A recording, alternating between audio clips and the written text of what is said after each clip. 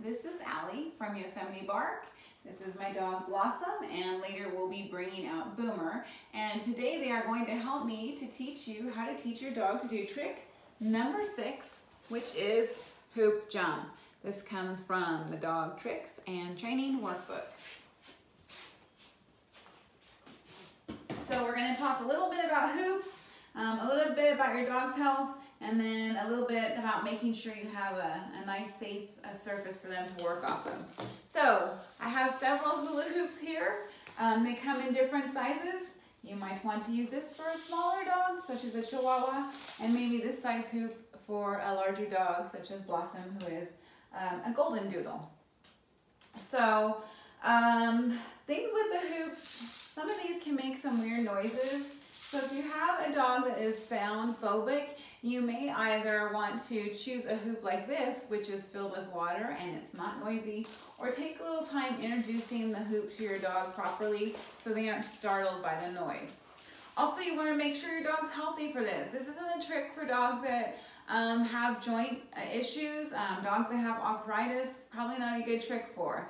Um, so make sure and check with your veterinarian that your dog's a-okay before you begin any kind of athletic jumping uh, tricks with your dog. And finally, um, my house is uh, has epoxy concrete floors, which are pretty slickery. So I have some um, matting down to make it a nice um, non-slip surface for my dogs to work on. So Blossom here is going to show you the final behavior. She's probably about an intermediate level of this, so nothing crazy that she does. Touch and jump.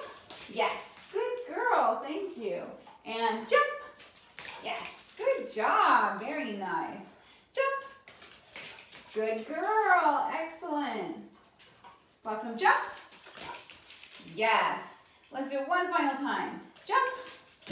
Good girl. Good job. So that will give you an idea of what your final behavior should look like. Now I am going to exchange dogs here and we're going to show you how to teach this with Boomer. Come on out, Boomer.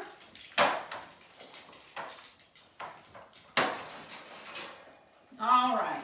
So I'm going to select uh, this medium-sized hoop for Boomer. What I'm going to do is you can kind of lure them through it. So you're going to put your dog on one side, put your treat in the other hand, and put it towards their nose and just have them go through. Good boy. And we're to try it again. Yes. Good job. Good job. And we're to take our treat and lure them through. Yes. Good job.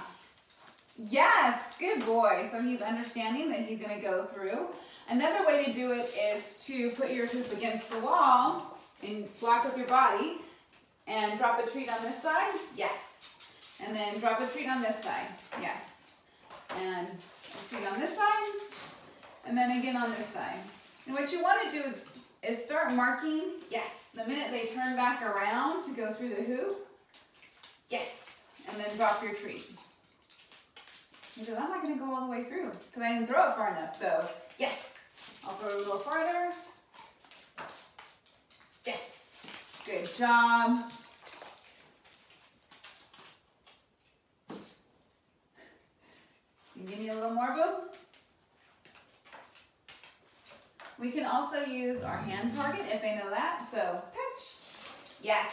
Good boy. And touch. Yes. If your dog doesn't know the hand target, I have a link to that and I will put it at the end of the video. Touch. Yes. Touch. Yes. Good job. Once your dog knows the behavior, then you can start adding the cue. So, jump. Yes. Good boy. Thank you. Way to go. Get that one. Jump. Yes. Good boy. Last one. Ready? Jump. Good job. And that's how you teach the trick. If you have any questions, you can reach me at yosemitebark at gmail.com. Thank you. Good boy.